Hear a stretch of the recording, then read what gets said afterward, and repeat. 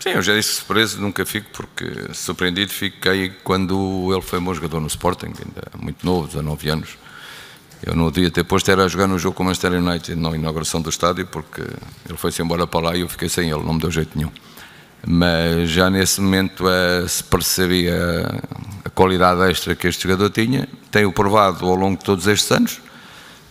para além da sua enorme classe e qualidade enquanto futebolista, também há algo que mantém, só isso pode manter um jogador a este nível até aos 34 e eu acho que ainda vai durar mais 3 ou 4, porque é um jogador que tem objetivos muito determinados, muito fortes eh, e leva-o a fazer uma vida top, top né, naquilo que é a sua determinação, estar sempre bem fisicamente, manter os seus graus de intensidade muito elevados, treina sempre no seu limite.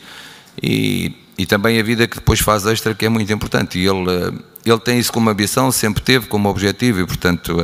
é por isso que na realidade não sendo muito comum um jogador chega aos 34 anos a marcar 50 golos por época. E eu acho que ainda vai continuar a fazê-lo durante algum tempo.